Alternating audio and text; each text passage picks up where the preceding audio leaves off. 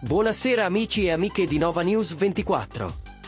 Piccolo incidente hot nel corso della diretta video della semifinale dell'Isola dei Famosi 2024. Protagonista Matilde Brandi durante un duello contro Alvina valido sia per il televoto Flash che per la Rosa Day, finalisti di questa edizione. La sfida sembrava procedere per il meglio e con discreto equilibrio ma ad un certo punto è stata proprio Vladimir Luxuria a distrarre Matilde Brandi dalla gara per attenzionare l'incidente hot.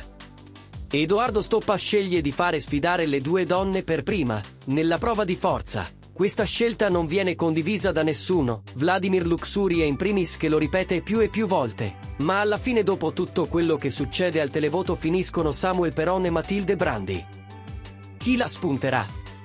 Amici e amiche se vi è piaciuto l'articolo, mettete il pollice in su diteci cosa ne pensate e seguiteci sempre su Nova News 24.